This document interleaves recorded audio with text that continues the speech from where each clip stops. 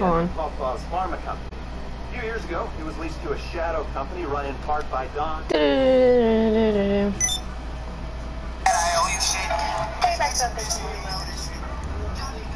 Whoa, whoa, why is Moobot like timing everybody out? Hold on, let me get Moobot out of here.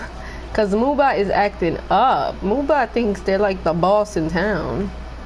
Sorry, person that just got timed out. I said Moodbot. Hold on, Moobot.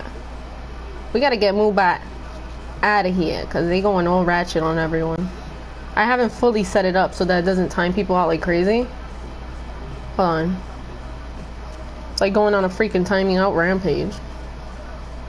Moobot, I like you, but you need to calm down, sir.